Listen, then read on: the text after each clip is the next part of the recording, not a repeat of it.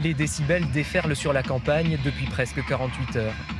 Sur le site de l'ancienne mine d'or, 3 à 4 Face à l'ampleur de la fête, les forces de l'ordre ont mis en place un important dispositif 150 gendarmes, des contrôles à chaque sortie et même un hélicoptère de surveillance.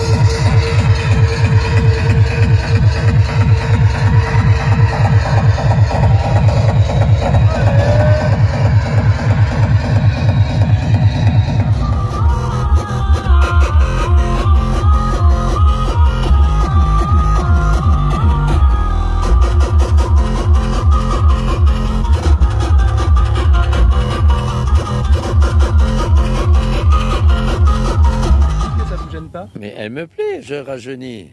Mais mon mari aimerait mieux l'accordéon. Mais voilà, c'est pas de l'époque maintenant.